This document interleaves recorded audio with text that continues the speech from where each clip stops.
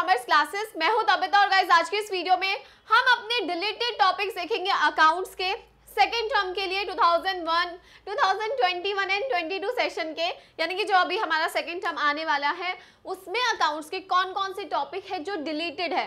तो काफ़ी सारी कंफ्यूजन है इन चीज़ों को लेके। तो आज हम उसी को क्लियर करते हैं कौन कौन से टॉपिक नहीं आ रहे और जो हमें नहीं पढ़ने हैं। तो गाइस सबसे पहला जो आपका पार्टनरशिप में चैप्टर है एनपीओ उसमें से कुछ भी डिलीट नहीं है। तो वो पूरा चैप्टर करना है आपको। सेकेंड चैप्टर उसके बाद आपका आएगा रिटायरमेंट तो रिटायरमेंट में guys adjustment of capital deleted है। यानी कि कैपिटल के जो एडजस्टमेंट के चार पाँच तरीके वो नहीं आ रहे। सेकेंड चीज़ लोन अकाउंट बनाना। रिटायरमेंट में पार्टनर का लोन अकाउंट बनाना डिलीट है। तो वो भी नहीं करना है। Death then next chapter death of a partner उसमें आपका preparation of deceased partner capital account यानी कि पार्टनर का कैपिटल अकाउंट बनाना डिज़ीज़ पार्टनर का डिलीट है। और उस साथ ही उसके एग्जीक्यूटर का अकाउंट बनाना भी डिलीट है।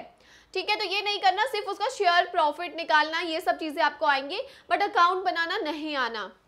इसके अलावा अगर रिडेम्पशन ऑफ़ डिबेंचर की बात करो तो पूरा चैप्टर ही डिलीटेड है। सिर्फ़ रिडेम्पशन ऑफ़ डिबेंचर में आपको उसका मीनिंग पढ़ना है कि रिडेम्पशन ऑफ़ डिबेंचर का मतलब क्या होता है, सिर्फ़ इतना पता होना चाहिए।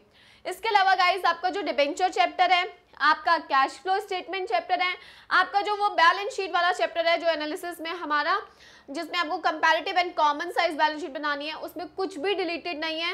सारे चैप्टर पूरी तरीके से आ रहे हैं कैश फ्लो भी पूरा आ रहा है डिबेंचर भी पूरा आ रहा है। और बैलेंस शीट भी दोनों की दोनों पूरी जो आ रही है एनपीओ सॉरी एनपीओ कह रही हूँ, जो उसमें profit and loss and balance sheet बनानी है कॉमन साइंस एंड कंपेरेटिव दोनों ही करने हैं। तो ये आपके डिलीटेड टॉपिक्स हैं, जो आपको ध्यान में रखकर अपनी पढ़ाई को करना है, क्योंकि काफ़ी सारे स्टूडेंट्स बहुत ज़्यादा कंफ्यूज हैं। और अगर ये वीडियो यूजफुल लगी है तो लाइक ज़रूर करना गाइस शेयर करना with your friends and yes channel को सब्सक्राइब करना बिल्कुल मत भूलना। Thank you